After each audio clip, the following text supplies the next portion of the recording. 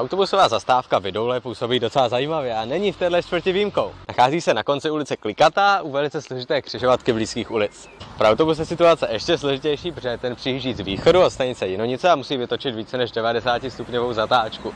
A aspoň v pracovní dny tu nejezdí auto málo. Na druhé straně zastávky se silnice stáčí zpět na východ, takže výhled je nulový a autobus pokračuje dál směr u Valtrovky a dále na Malvazinky nebo Klamovku. A teď k samotné zastávce. Stanoviště ve směru Jinonice odpovídá malé nepoužívané zastávce a tak tu nic nenalezneme. Opačné nástupiště je pak trochu severněji, je širší a má i střížku. Jméno Vidoule pochází pravděpodobně od názvu blízkého kopce a shoduje se také s místním názvem čtvrti.